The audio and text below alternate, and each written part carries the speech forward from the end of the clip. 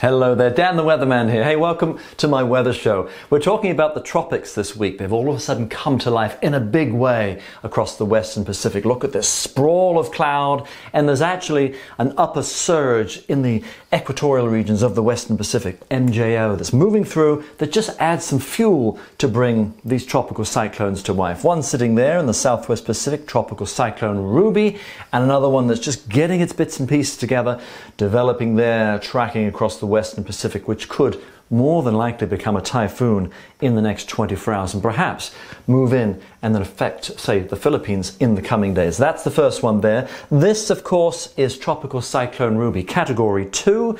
That's the official track from the Bureau of Meteorology in Australia. Australia's sitting here. The yellow and the red, those are the higher cloud tops. And this, of course, has developed in pretty decent conditions. The first thing you need, warm seas, and both of them sitting in that bath-like water. They need 26 and a half degrees or warmer to form, to grow. They've got plenty of that. Where you see that orange, that's upper 20s to even around 30 degrees where they are currently sitting. The other main ingredient, of course, not too much winds blowing them about like having a candle and you're trying to light it in a gale. It's pretty difficult.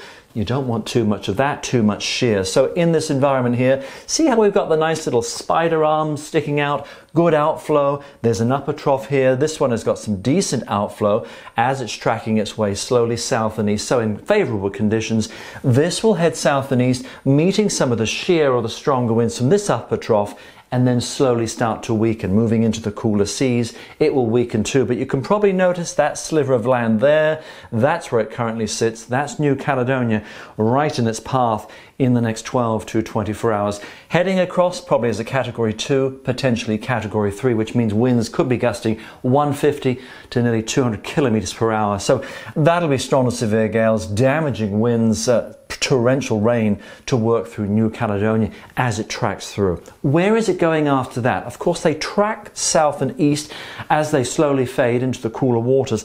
The big players for this is as it crosses what's called the westerlies, the strong river of wind, that can push it that way, that can push it more that way, depending on what is the upper trough. That's New Zealand there, Australia there. If the winds are more that way, it goes that way, an upper ridge. But if they're tilting more that way, it could track its way more south, perhaps to New Zealand. But the current trends seem to keep this to the north, probably staying to the north of the country over the course of this week. Of course, check the, uh, the latest official tracks as far as where as it goes, but Remember, this active phase in the tropics usually lasts a couple of weeks, so not one, not two, there could even be another one developing in the coming weeks. That's the weather for now.